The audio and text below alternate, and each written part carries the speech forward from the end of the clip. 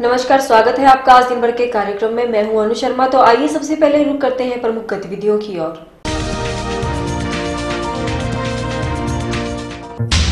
Corona virus के चलते सरकार द्वारा जारी की गई एडवाइजरी के बावजूद हमीरपुर जिला में कई शिक्षण संस्थान आज भी खुले रहे। जानकारी के अनुसार डिग्री कॉलेज हमीरपुर में छात्रों का लगा रहा हजूम। श्रीराम सरकार द्वारा जारी एडवाइजरी को किया जा रहा नजरअंदाज।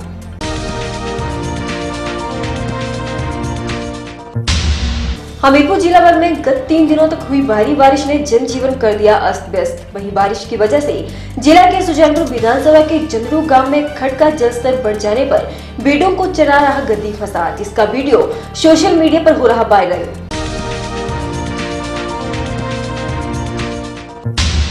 हिमाचल पथ परिवहन निगम की बसें भले ही खटारा रूप में जानी जाती हों, लेकिन दुनिया भर में फैले कोरोना वायरस को देखते हुए निगम की बसों को प्रॉपर सैनिटाइज करने का लिया गया फैसला। सभी डिपो की बसों को प्रॉपर सैनिटाइज करने को लेकर रविवार को जारी किए गए फरमान।